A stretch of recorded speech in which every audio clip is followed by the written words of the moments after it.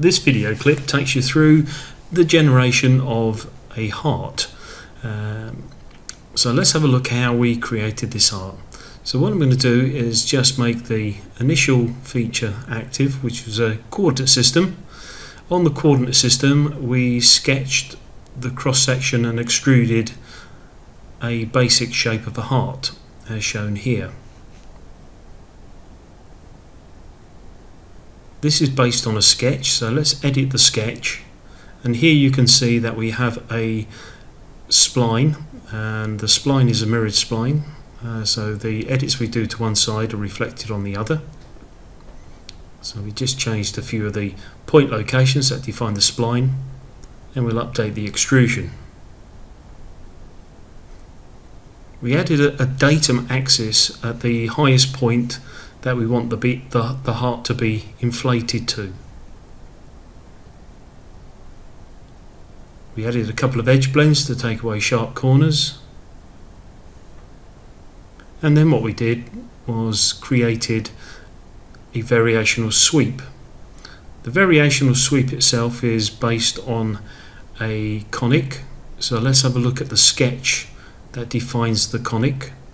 It's basically a rectangle and the the conic is made perpendicular or tangent to two of the sides of the rectangle. The plane that the conic is sketched on is using uh, an on-path sketch and it's using the through axis option and picking the datum axis that we defined earlier for the high point of the heart. There's a dimension which controls the height of the rectangle which in turn inflates the conic. So changing that to 20 you can see that update the conic cross section, change it back down to 15, updates the conic once again. Finishing off the sketch we can see the variational sweep update and then all we need to do is reflect uh, that shape so we get a two-sided heart and we do that by creating the datum plane location of our choice and then mirroring the, uh, the initial shape. Uh, we can hide the construction geometry that's no longer needed.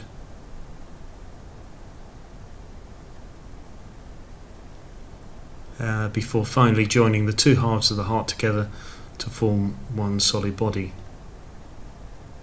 Let's just hide the datum geometry and there is our heart. Perfectly smooth in all directions with uh, with just one feature really generating the shape of the heart.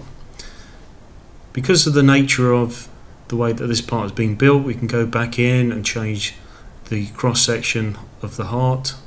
And we're doing this by once again just uh, manipulating the the point locations for the spline let's change the top. And then finish off the sketch.